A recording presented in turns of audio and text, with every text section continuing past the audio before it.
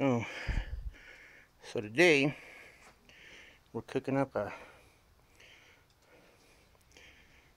a pork uh, a pork butt and some pork spare ribs.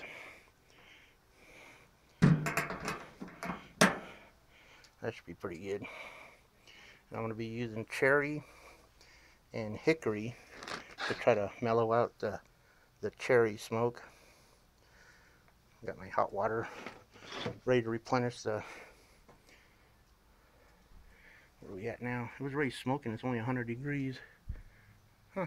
And I got it set at just below medium.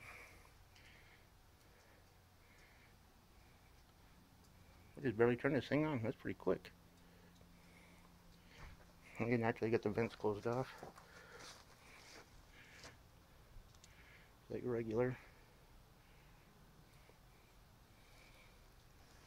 Two different probes. Alright, I'll let you guys know how it's going later.